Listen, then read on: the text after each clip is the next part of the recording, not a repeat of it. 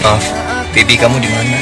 Tolong angkat telepon dari aku, no. Aku khawatir. Ya Allah, aku mohon lindungi istriku di mana pun dia berada sekarang. Akhirnya saya bisa keluar dari sini. Saya cuma ingin tahu siapa yang kandung saya. Dia pernah bikin kafe, Batavia Cafe Shop namanya. Halo Sobat Tanaka Takdir Cinta yang kupilih Rabu 27 Desember September 2023 malam ini Kak Jeff sempat melihat sosok seperti Novia yang masuk ke dalam mobil bersama seseorang Kak Jeff pun langsung mengejar tapi gagal Pak Arjuna curiga ada yang mau menghancurkan hubungan Kak Jeff dan Novia selain dirinya Siapakah?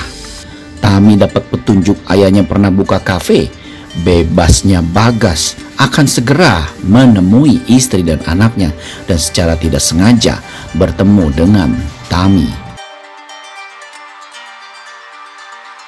Tombol subscribe, like, komentar, dan share videonya. Gratis kok, dijamin gratis. Bijaksana ya, dan meminta Kak Jeff untuk menenangkan diri dulu.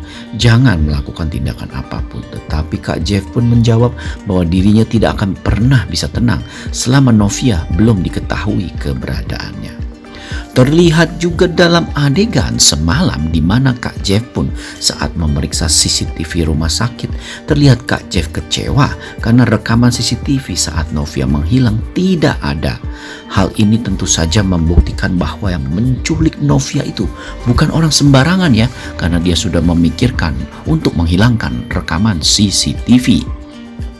Terlihat juga dalam episode semalam ya, Tami yang ingin sekali bertemu dengan ayahnya terlibat sedikit argumen dengan ibunya, di mana Tami ingin sekali bertemu dengan ayah kandungnya, tapi ibunya menyuruh Tami melupakan masa lalunya.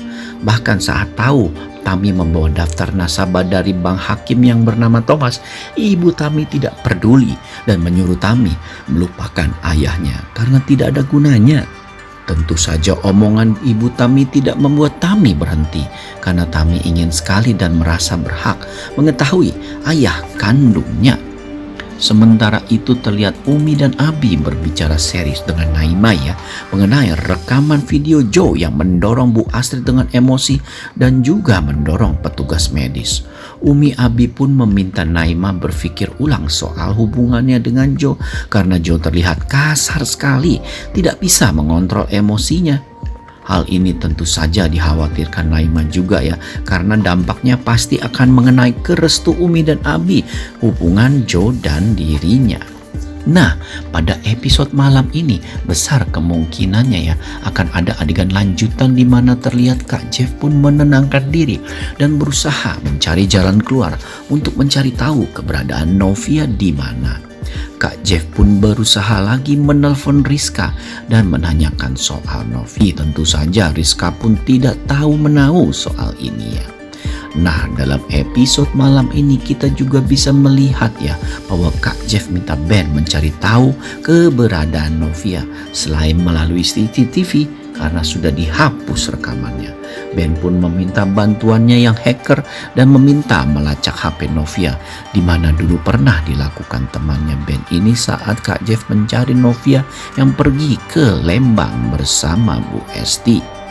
Terlihat teman Ben pun berhasil melacak keberadaan HP Novia yang terakhir terlihat di arah Bogor.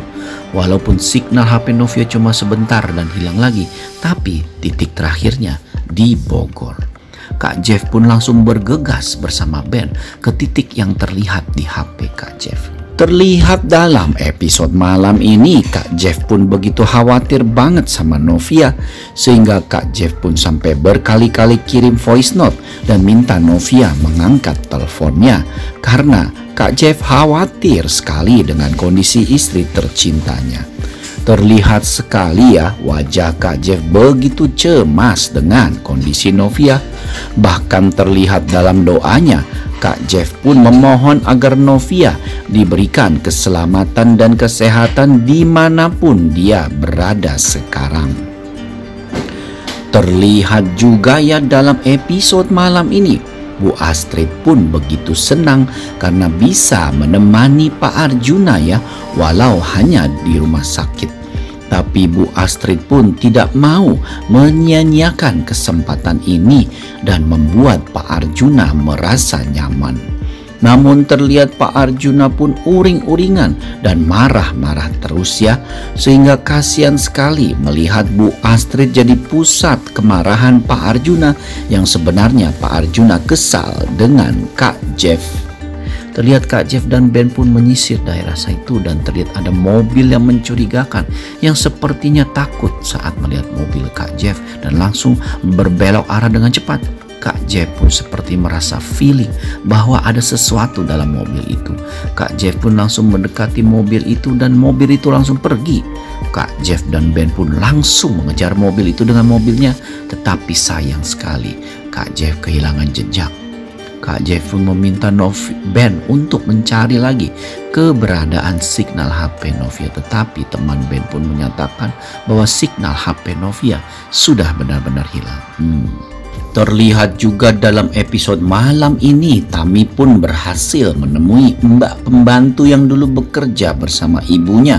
Dan ternyata mbak pembantu tahu bahwa ayahnya dulu pernah buka kafe bernama Batavia Cafe. Dan akhirnya Tami pun menghampiri kafe itu bersama Hakim pada episode malam ini.